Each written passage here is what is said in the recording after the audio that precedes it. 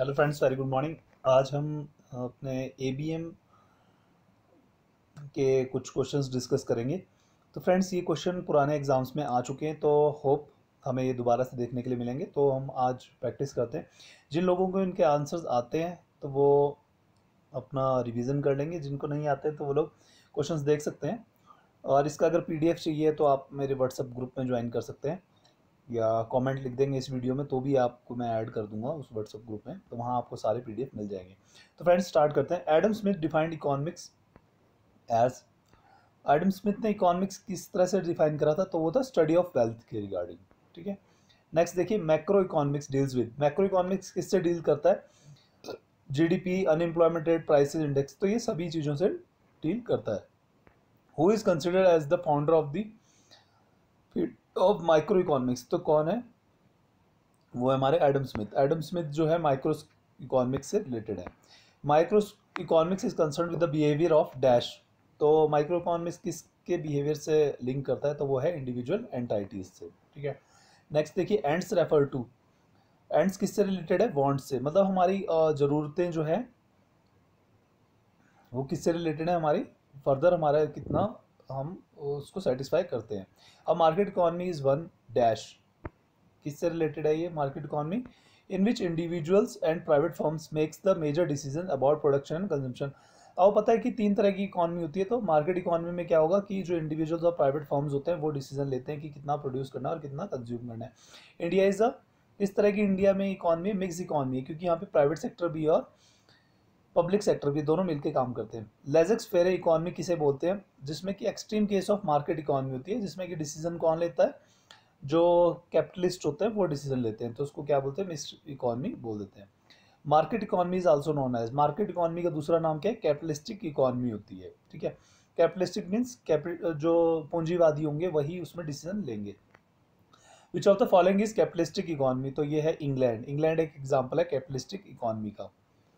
Unit two में आएँगे, जो सेकंड चैप्टर है सप्लाई एंड डिमांड उससे रिलेटेड क्वेश्चन हम यहाँ पढ़ेंगे। तो ये है demand schedule is a dash तो ये किससे related demand schedule relationship with the price and quantity demand जो होती है मार्केट में और सप्लाई होती है, वो किससे डिपेंड करती है? कितना उसकी प्राइस है और कितनी क्वांटिटी है? कोई चीज़ बहुत ज़्यादा महँगी हो जाएगी तो क्या होगा? डिमांड कम हो जाएगी।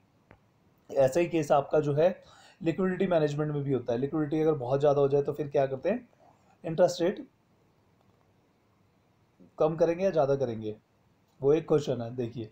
Market demand curve obeys the क्या चीज़ ओबे करता है वो? Law of downward sloping demand forces behind the demand curve कौन कौन से फोर्सेस डील करते हैं? तो इसका आंसर फ़र्स्ट और सेकंड है दो it is exception expectation about future economic conditions और average income downward sloping demand curve relates quantity demanded to that is price shifts in supply means क्या है? When changes in factors other than goods own price affect the quantity supplied the equilibrium price is also known as उसको क्या बोलते हैं? Market clearing price equilibrium price को क्या बोलते हैं? मार्केट क्लियरिंग प्राइस भी बोल देते हैं। Forces behind the supply curve ये है cost of production technological advances government policies forces behind the supply curve क्या क्या है? Cost of production technological advances government policies supply curve relates quantity supply to price supply curve किससे relate करता है? Quantity जो supply होती है, उसकी प्राइस से, ठीक है?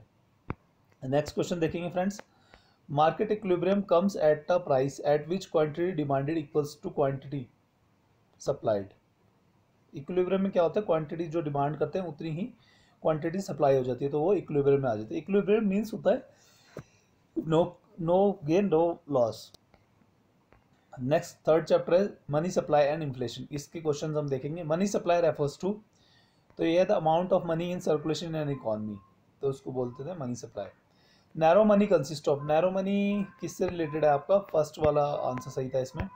Currency with the public demand deposit other deposit the R B I time deposits are time deposits क्या उनसे होते हैं? ऑप्शन फ़र्स्ट और सेकंड आपका सही है तो देखेंगे. पेड ऑन डिमांड और नॉट पेड ऑन डिमांड वो time deposit time deposit basically F वगैरह जो हम बैंक पे कराते हैं, उसको बोलते हैं। फिक्स डिपॉजिट जो होते हैं, ठीक है? Demand deposits are demand deposits क्या होते हैं? पेड ऑन डिमांड होते हैं।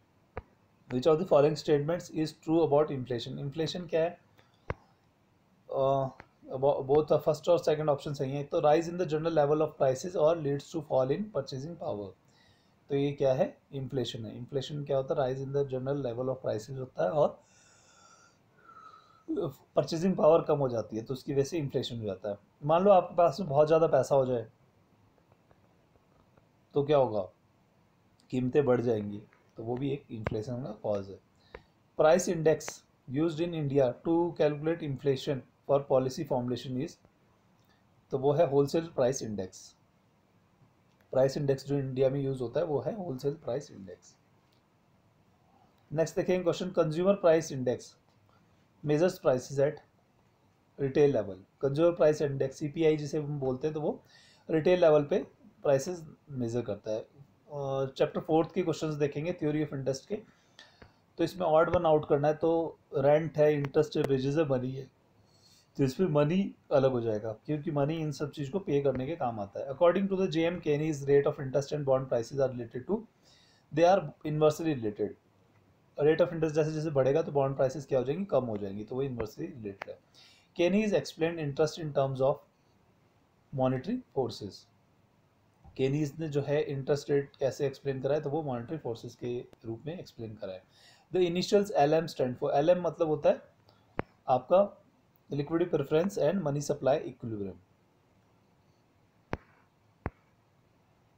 L M का फुल फॉर्म है यहाँ पे, liquidity preference and money supply equilibrium. I S curve is derive from I S curve जो ड्राइव करा गया था, वो करा गया था क्लासिकल थ्योरी से।